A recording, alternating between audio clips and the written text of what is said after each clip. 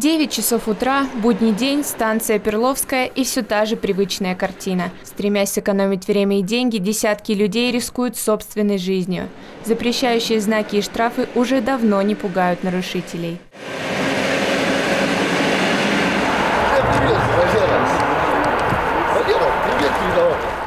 Сегодня переубедить экстремалов способны только цифры. На этом месте несколько недель назад произошло сразу два несчастных случая. Мужчина переходил железнодорожные пути в неположенном месте, и не заметив поезда, он попал под электричку. Такая печальная статистика только растет. Мальчик э, у нас пострадал здесь за цепер 19 лет. Значит, в данный момент у нас э, штраф за зацеперство от 2 до 4 тысяч. Но, как говорится, никакой штраф э, не может спасти жизнь человека. Ежедневно по собственной воле сотни людей подвергают себя опасности. Мужчины, женщины, пенсионеры и даже маленькие дети.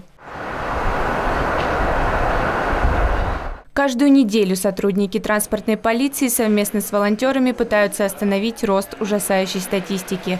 Они разъясняют гражданам последствия неправильного выбора между жизнью и временем. Мы пытаемся предупредить э, людей, э, жителей города, что все-таки нужно легально проходить через станцию, а не перебегать железнодорожные пути в неположенном месте. Стараемся каждые две недели выходить на железнодорожные пути на, станции Перловки, Танинки и на станции Мытищ. Сотрудники транспортной полиции нацелены увеличивать количество рейдов.